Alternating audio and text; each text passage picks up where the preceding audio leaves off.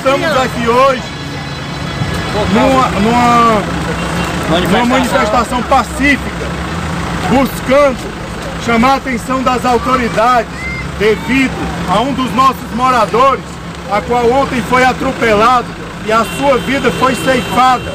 E hoje, que ele está sendo comemorado 11 anos da sua filha, o mesmo está no caixão, está sendo velado pela família.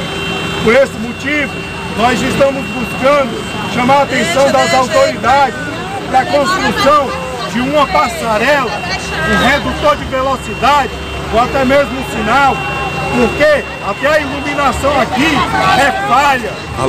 A iluminação e também a sinalização é precária.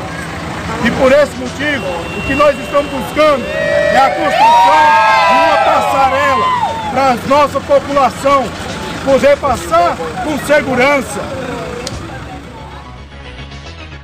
Pacífica, provocando as autoridades para a construção de uma passarela devido ao acidente que houve essa noite, a qual foi ceifada a vida de um dos nossos moradores aqui da nossa comunidade.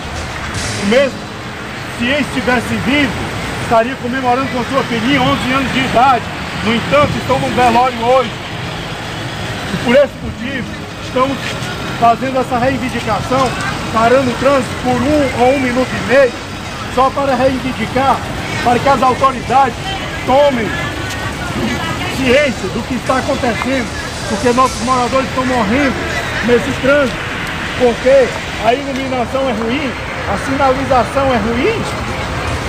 O que nós buscamos é só uma passarela para nossas crianças, porque foi esse cidadão, depois pode ser uma criança, eu mesmo, ou você mesmo.